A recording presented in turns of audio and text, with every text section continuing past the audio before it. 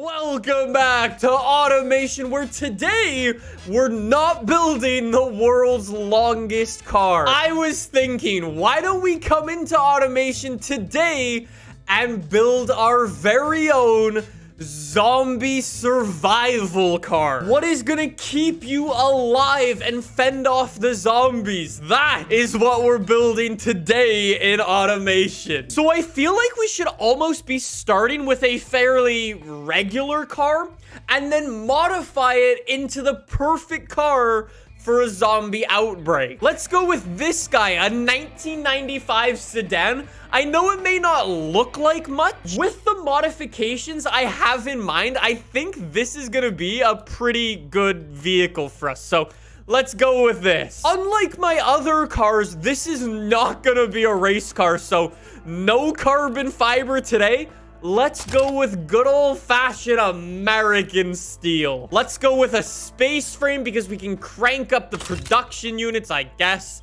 steel chassis, front engine, thank you. Let's go with double wishbone suspension in the front, and then let's also go with, that looks good, double wishbone suspension in the rear. As much as I want to keep the engine as legit as possible, I feel like you'd be able to find a V8 and swap it in in a zombie apocalypse. We're gonna try to keep our engine legit, all right? I want to make this thing fast. We're gonna be really, really heavy after all of our upgrades we do, so yeah, we're gonna want something with quite a bit of horsepower at the end of the day. You know what? I'm feeling like no turbo for this thing. That would probably complicate things, so no turbo. We're gonna be far less powerful than we could be if we did have a turbo on here, but I feel like this is more legit, all right? We're kind of walking a very thin line, all right, between real and making it really cool.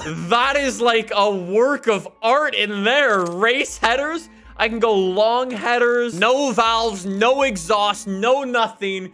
We are a good old-fashioned straight-piped boy. We set our RPM limit to 9,100. We've got 505 horsepower, and it actually works. No problem. I feel like that's a very legit amount of horsepower. Let's give it a test real quick, though.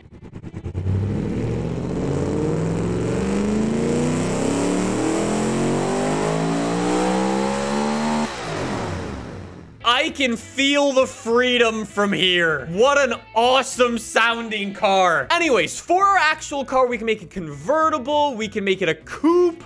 We can make it four doors, which is probably what I'm going to go with. Or we can even go with a... That's the ugliest wagon I've ever... Wait, there's more. There's this, like, sportback version. There's a a two-door wagon, a pickup truck. What the hell? I, I feel like with some customization, this thing's gonna be really cool. Let's see the body morphing, though. So we've got to make this thing look really good, and we've got to remember, in a zombie apocalypse, we'd be able to do a little bit of customization, so nice wide body right off the start. We can change the angle of our hood. Let's keep it quite aggressive looking. Whoa, look at that for body morphing. As it's a zombie apocalypse, we've got to remember we're going to toss some rust onto this vehicle. But we do have paint jobs. What should I... What color should I make it? That's actually so cool. No lie, I would drive that. I mean, providing it had proper sized wheels. That looks sick. Before we get into any of our zombie survival stuff, I feel like we should start it off with the basics. Tail lights, grills, the usual, okay? We need some good old headlights for this guy right off the bat. And I mean, they're definitely not the nicest looking headlights in the world, but I think we'll go with them. In the end, you won't actually see them very much. Don't worry about it, all right? Anyways, though, because our headlights will actually be blocked by, let's say, some of our equipment, we do need to get a light bar for the roof. We can say that we uh, stole this off a pickup truck somewhere, okay? Headlights finished. Let's go off to the rear where we can get some tail lights. This hopefully should be a lot easier to find some nice ones. I know how I'm gonna get tail lights for this thing. I mean, they might be a little bit on the small... Actually, hold on. Wait, I can make this fit way better. Those are my tail... Somebody in Twitch chat is like, why are you building a skyline from Walmart? Indicators, no, I'll be a BMW for today. We've got to remember, for our grill, since this car is a zombie survival car, we want something kind of aggressive and almost scary. No, I could I could totally see a real life car manufacturer actually do this. A huge part of this car is that whole zombie survival thing, and I've got some pretty good options for this. For example, I have broken window decals. And then if I come into here, we've got tons and tons of rust decals that we can chuck on here. Okay, the game really, really doesn't like these decals. It lags. Maybe we should make it a little bit more deadly. So why don't we put a monster gun on our roof because America... Uh, I have an idea for this. What? No, bruh, bruh, bruh, bruh, bruh, bruh, bruh. This is a sick idea. Let's go. That's so cool. Minigun spoiler. I, I was thinking, right? The front of the vehicle doesn't look dangerous enough. So why don't we just get a saw? Look at that. I've got a racing front spoiler now. Anyways, though, I think that's enough zombie survival stuff for now. We will come back to that in a moment. Let's keep making this look really cool. You can't even tell me you wouldn't pay like 5 million bucks for this thing in GTA Online. We do need some rear view mirrors as well. Now, I feel like I want to get something cool. Maybe something a little bit different. Actually, Maybe I should go for different side wing mirrors. Maybe we can imagine one of my wing mirrors fell off and we weren't able to rescue it, so I had to tape on a wing mirror that I found. All right, all right. I'm digging my two different wing mirrors. I knew the rear of our car was missing something. Let's get a number plate on here. Maybe one that looks like that. They're kind of staggered, so they look aggressive. That's gonna be some nice flames out of this exhaust. Back to the miscellaneous stuff. So I think we can all agree that I definitely need something on the roof over here. And I'm feeling like almost like a turret would be a good idea. So let's actually maybe this. Uh, um, maybe not that. That's looking cool. Uh, Twitch chat wants me to get some gas cans on here, some extra fuel. Okay, maybe I get two of them, one on either side for maximum extra fuel.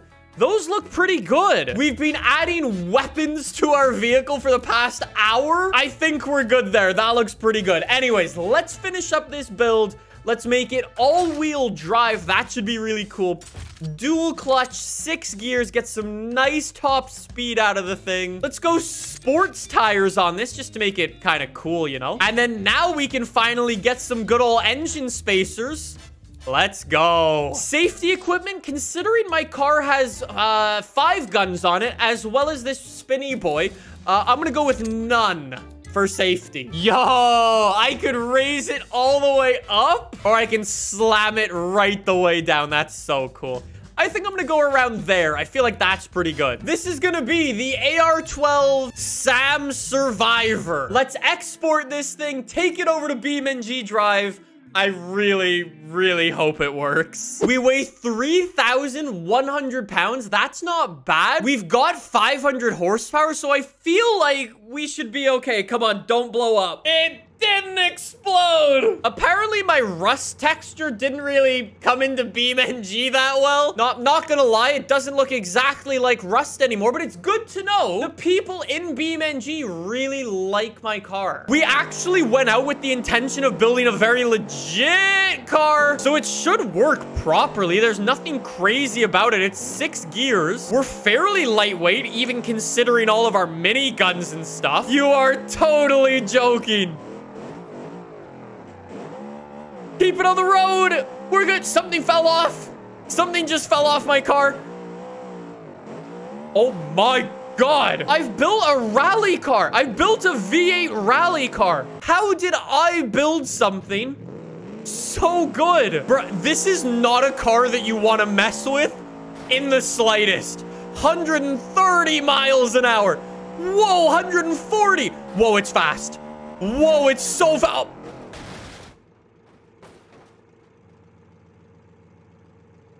I broke it. What is faster, a block of cheese or an angry American? Come on stage. There we go.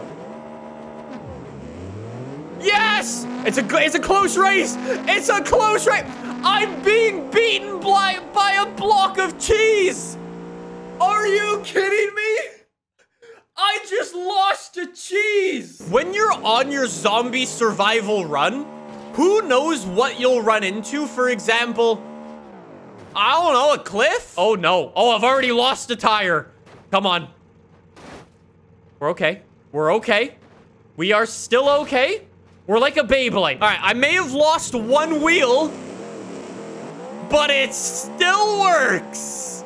Let, oh. Let's go. If the cliff doesn't get you, I don't think the zombies are gonna get you. No way.